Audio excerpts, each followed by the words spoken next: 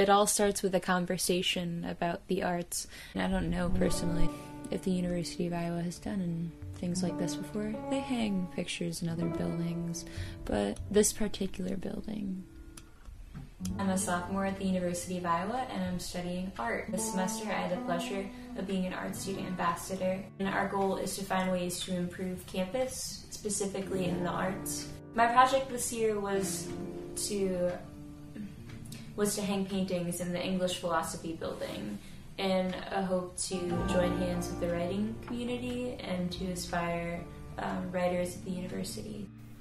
It was a place that I went for my writing classes, for for classes that were meant to spawn creativity.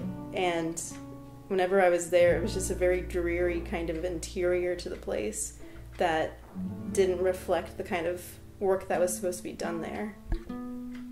I contributed the painting Summer Bones Rising.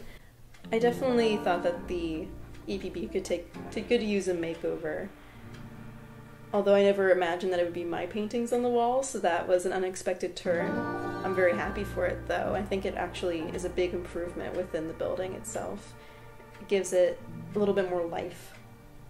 There were a lot of different factors that went into this. How do you hang on a brick wall? That was the biggest obstacle. And there's so many fire hazards and so many codes and so many things that we had to step across before we could get to that place. It's very hard to be discovered in this community in general um, as an artist, and even to have a little opportunity where to shine in something that's not even your field is very cool, and it's very fun to be a part of something, uh, especially with another form of art.